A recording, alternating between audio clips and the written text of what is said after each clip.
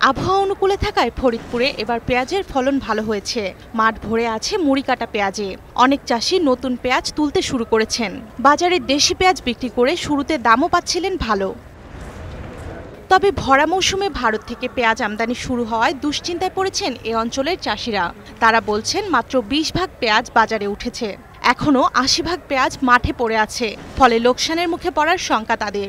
এবার পেঁয়াজের বাম্পার ফলন হয়েছে। সবকিছু ঠিক ছিল কিন্তু পেঁয়াজের দামটা নাই। যদি কিছুটা দাম পেত তাহলে কৃষক বাঁচত। আমরা আবাদ করি এখন এক হাজার টাকা মন। একটা লেবারের মজুরি সাতশো বা আটশো আটশো টাকা আটশো আটশো টাকা দেওয়া দিতে হয়। তাহলে আমরা কেমনে বেঁচে থাকি?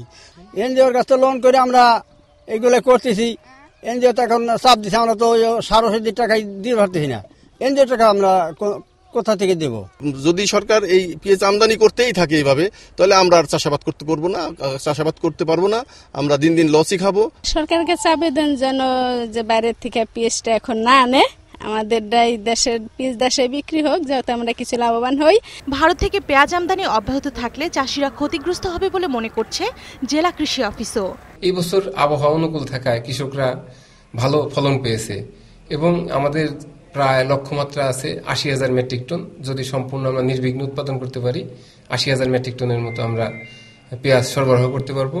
তবে এই মুহূর্তে বাহির থেকে পেঁয়াজ আমদানি করতে করার ফলে পেঁয়াজের দামটা কমে গেছে। আর কৃষকগণ এই পেঁয়াজের দাম কমে যাওয়ার কারণে তারা বেশ শঙ্কিত, তারা উৎপাদন খরচ তুলতে পারবে কিনা।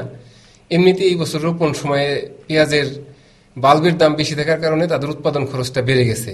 কৃষকদের দাবি যে, এই উৎপাদন মৌসুমে যদি বাইরে থেকে পেঁয়াজ আমদানি না করা হয়, তাহলে তারা ন্যায্য দাম পাবে এবং তারা আমাদের দেশের চাহিদা মোতাবেক উৎপাদন করতে সক্ষম হবে এবং সারা বছরব্যাপী পেঁয়াজের যোগান দিতেও তারা সমর্থ হবে।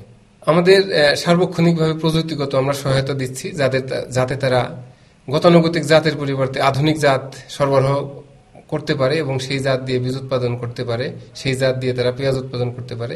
এছাড়া আমাদের এই সরকারের উদ্যোগে আমরা প্রায় আট হাজার কৃষককে আমরা পেঁয়াজের বীজ এবং সার দিয়েছি যাতে তারা এক বিঘা জমিতে প্রত্যেকে পেঁয়াজ উৎপাদন করতে পারে।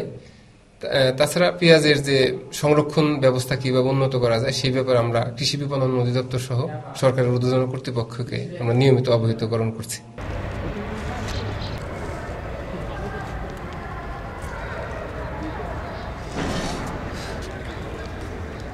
জেলায় চলতি মৌসুমে ছয় হাজার হেক্টর জমিতে আশি হাজার মেট্রিক টন পেঁয়াজ উৎপাদনের লক্ষ্যমাত্রা ধরা হয়েছে। ডেস্ক রিপোর্ট, বৈশাখী সংবাদ।